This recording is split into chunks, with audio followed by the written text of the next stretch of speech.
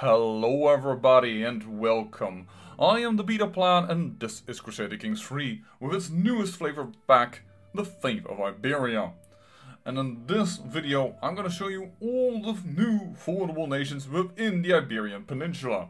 Bit of a new format for me, but I still hope to show you the mad skills that I have and have you a little bit of enjoyment while I do so. And the first kingdom we're gonna focus on is what I also think the weakest but still one of the most interesting as well. And that is a kingdom that can only be created if you are of the Mozarabic religion. And that is what it all ties into. So, which kingdom is that? That is the Kingdom of Toledo. And in order to form the Kingdom of Toledo, you need, of course, the Duchy of Toledo and have your capital be the County of Toledo. Now, right now they're called differently because they're held by a Mazriki Muslim. But this man that you see here on the left lower corner is the best one to form the Kingdom of Toledo. Because he holds the, the key positions, or at least most of them, to form it. And if you do so, you will be rewarded with the Kingdom of Toledo, which itself doesn't give you much of a power boost, but allows you to convene the Council of Toledo, which trades piety and gold for boost the County of Toledo, as well as the ability to take control of the fate of the Mozarabic faith. You can either break with Rome, removing the Pope as the head of faith, or you can actually bind the faith to Rome, making an, the Pope always the head of the faith. And whatever you do, the Mozarabic faith will change just a little bit, and you are the one to steer it in that direction. This is also a very easily formable nation, as you can see in one generation with the former Duke that I just showed you. You can do that already in 877. This is a very easily formable nation, and it's very cool if you want to have a kingdom that has a power to control a faith. Other than that, it is not really a power boost, and therefore it is not really that interesting. If you want to do it, go as this Duke of Toledo, and probably go towards Castile to be the hero of the Mozarabic faith. Going from the Kingdom of Toledo, we go to the second formable nation within the fate of Iberia, the Kingdom of Aragon. And of course, for this, you will need the Duchy of Alto Aragon, now named Saracust, Saracustas? I don't know how to pronounce that. In which, if you have that duchy and the neighboring duchies of Barcelona, Navarra, and Valencia, you are able to all make them instantly move into your kingdom. But you at least have to have Alto Aragon and one of these three duchies, Navarra, Barcelona or Valencia, to actually form it. And then you adopt the Aragonese culture and actually have a little bit of a chance to mold this culture. For instance, taking over the pillars or the ethos of your religion, uh, of your uh, original culture, and in this case Arabic. And normally it is formed from Basque and Catalan they say, but that's interesting because in game is normally not allowed.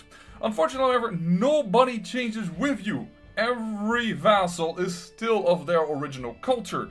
And you only get three random provinces that change to the new culture. As such, it isn't a great power boost, because the culture also doesn't get any additional uh, unlocks in forms of technology and thereby it isn't that great of a nation to form. Other than that, of course, it is cool uh, in the sense that uh, it has five pillars, which most countries don't start with.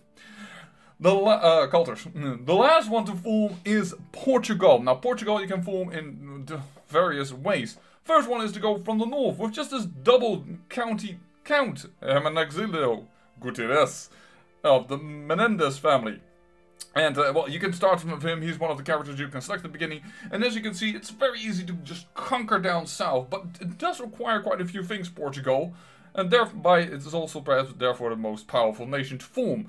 You need to have all the three duchies of Portugal, Coimbra, Beja and Algarve, and you need to be either independent, or the struggle phase needs to be in the opportunity.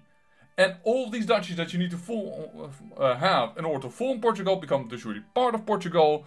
Uh, you, it becomes your primary title, you get the Portuguese culture, but more importantly, every person in your realm that is within de jure part of Portugal becomes also Portuguese. And every county, also the people become Portuguese, making it a very stable nation. On top of that, the Portuguese culture, as you can see, gets one random military and one uh, random civic additional innovation, allowing you to have a power spike from here to there.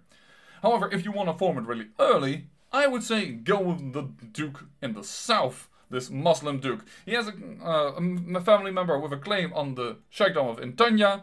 Uh, to the south lies uh, a very weak duchy that you can easily conquer and uh, you can do that with one struggle because you border everything and then it's just going up north to beat on the Duke of Portugal, either when he's still independent away from um, Andalus or even when he's a member of uh, Asturias.